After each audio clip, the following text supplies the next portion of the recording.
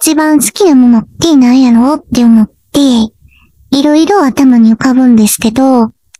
実行上位に言葉があるんじゃないかなって思うんです。言葉が持つ力っていうか、言葉があることによってどうなったんかっていうことをちょっと見ていきたいんですけど、実論から言うと、言葉を使った人類たちが勝ったっていうことなんです。何かをかん、何かの関係を作るときも、伝えるときも、自分の脳内ですら、全部言葉でできてますもんね。その座とかを手にした人類の範囲の実家っていうのを見てみたいんですけど、地球上の哺乳類の全部の重さが、人間3.5億と8クトペットが7億トン。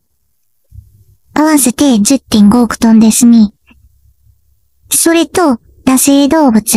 全運部の重さが3300万トン。えぐいですよね。わかります？ちょっと信じられへんのですけど、この地球上にいる哺乳類の重さの99%は人間と家畜の重さなんです。野生動物が1%しかいないんです。今なのかなって思うんですけど、確かにすごい山奥に行ったって、野生動物ってめったに見ないですもんね。家畜やったら、一つのスペースにぎゅうぎゅうに詰まってるっていう密だやけど、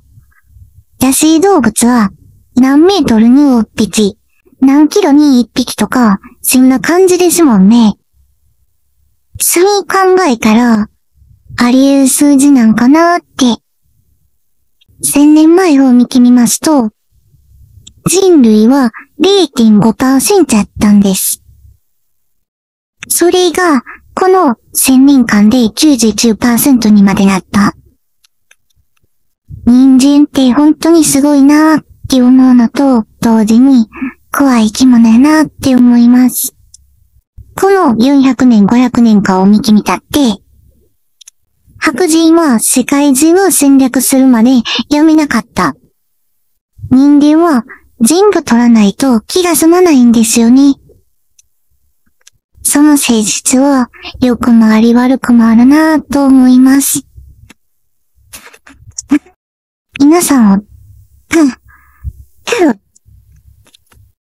皆さんはどうですか